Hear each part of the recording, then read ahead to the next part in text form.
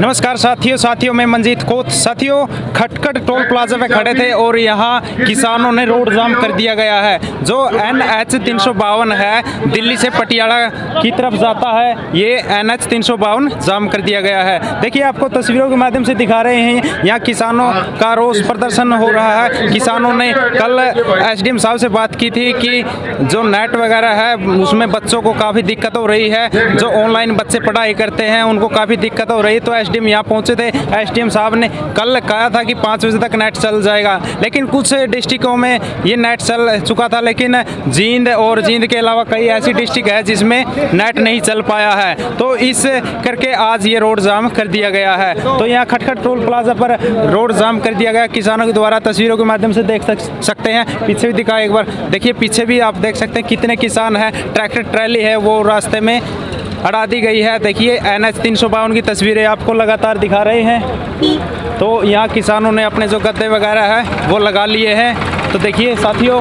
Video को ज़्यादा से ज़्यादा शेयर करते रहे, क्योंकि जो नेट की वजह से बच्चों की शिक्षा प्रभावित हो रही है, उस शिक्षा को देखते हुए किसानों ने ये रोड जाम कर दिया गया है। नेट कई दिनों से नहीं चल रहा है और इसकी वजह से रोड जाम किया। चलिए आगे आपको दिखाते हैं। हाँ जी नमस्कार। हाँ नमस्कार भाई। ये रोड क्यों जाम किया गया है? रोड इसलिए जाम किया है अमित सरकार से इतने परेशान हो गए हैं क्योंकि कभी ये इंटरनेट बंद करती है कभी कुछ बंद करती है। हाँ। आपको मालूम हो आपके चैनल के थ्रू हम एक चीज़ भेजना चाहते हैं सरकार के जो बॉर्डर हमारे होते हैं इंटरनेशनल बॉर्डर। हम एक आधा किले के किसान हैं लेकिन जान हमने पूरी है देश के बारे में दूसरे देशों के बारे में जान है। इंटरनेट बॉर्डर होते हैं जैसे पाकिस्तान है चाइना है मालदीव है लंका है भूटान है बांग्लादेश है।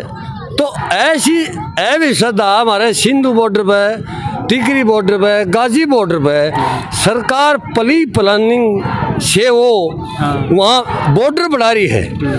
चार चार पुरुष लगा रही है। सीमेंट के पक्की सीमेंट के वो थैये बना रही है। और जो इतने इतने। कील। कील जो पक्की सीमेंट मंगा रहे ताकि किसी का ट्रैक्टर आए जाए और रोका जाए।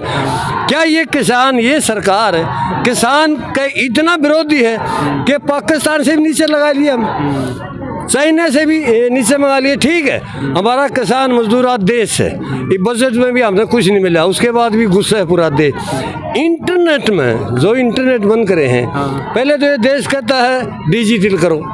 कर दिया। सब कुछ इंटरनेट से जोड़ दिया। चाहे वो दुकानदार है चाहे तहसीलदार है चाहे ऑफ़िस है कोई भी काम है। बच्चे की पढ़ाई भी इंटरनेट बच्चे की पढ़ाई इंटरनेट पे है।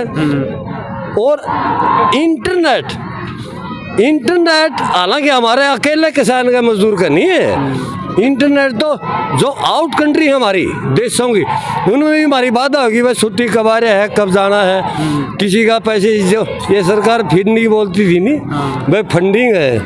वो फंडिंग नहीं थी। वो हमारे अमेरिका में ईरान इराक में हमारे बच्चे रहते हैं उनके बाप वहाँ बॉर्डर पर बैठे हैं और वहीं से पैसे लेते हैं। ये किसानों को भी फिंडिंग बोलते हैं। किसान मजदूर अपनी मंदिर मस्जिद अपने चंदा से बनाए। आज पूरा देश सरकार कोई सहायता नहीं करी हमारे दोस्त 200 प्लस हमारे किसान शहीद हो गए। इस आंदोलन में सरकार ने एक बार भी ये नहीं कहा कि भाई बहुत गलत होया। नहीं हमारे समाज में एक मौत होती है। हम तेरह दिन उसका शोक करते हैं। हमारे बीस बीस चालीस चालीस सौ सौ कोस के वहाँ गोड्डा नुआन आते देसी भाषा में बताऊँ।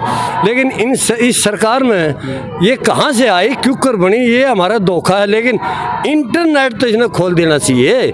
ये तो पूरा देश का है। कल इसलिए हमने रोड जाम। कल एसडीएम साहब पहुँचे थे। उन्होंने क्या कहा था? एस साहब पहुँचे थे। डिप्टी साहब पहुँचे थे। यहाँ हमारी मीटिंग हुई थी।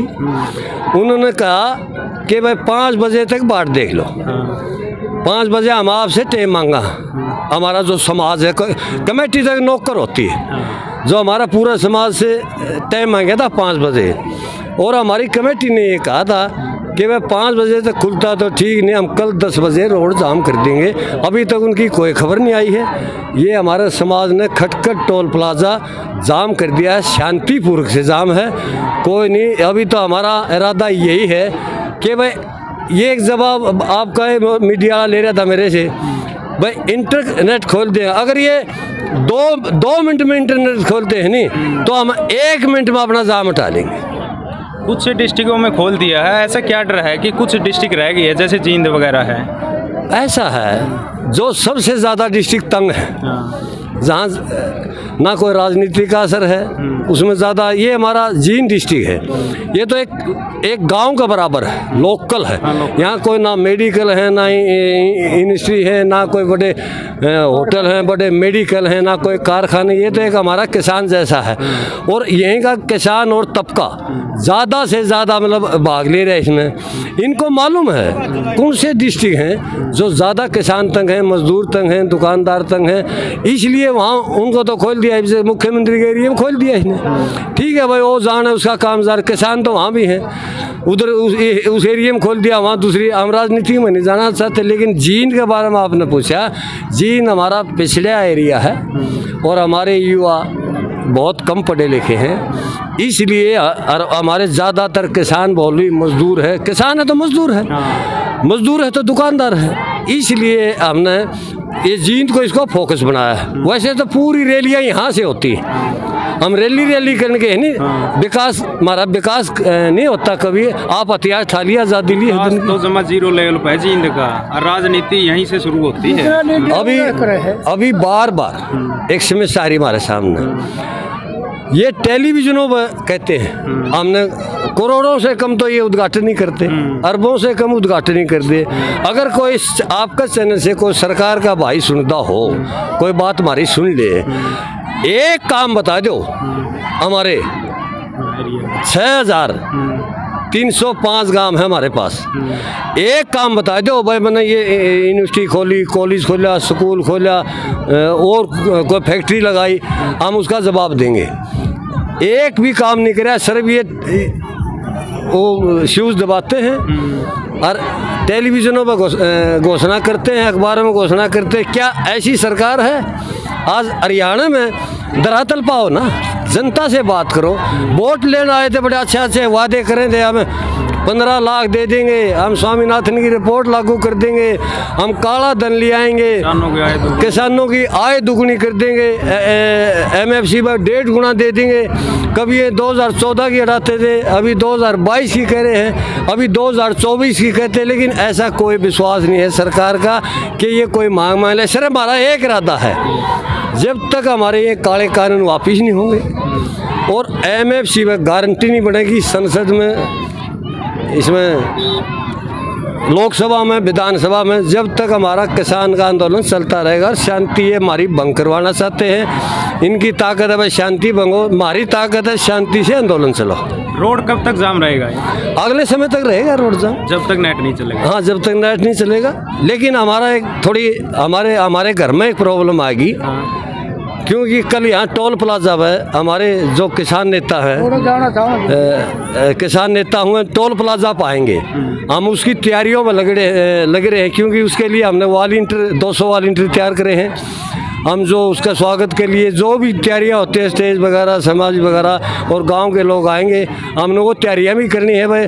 हमारा मतलब है जो हमारे किसान नेता डिकेत आएँगे जिनकी इस सरकार ने एक आँसू पी है, रहे हमारा किसान नेता, किसान जो हमारे गरीब किसान हो तो रोए रहे हैं। एक वहाँ भी उसकी आँसू पी, लेकिन इस सरकार को ये नहीं पता था, हमारे किसान नेता की आँसू, ये धार बन जाएँगी और तलवार बन जाएँगी।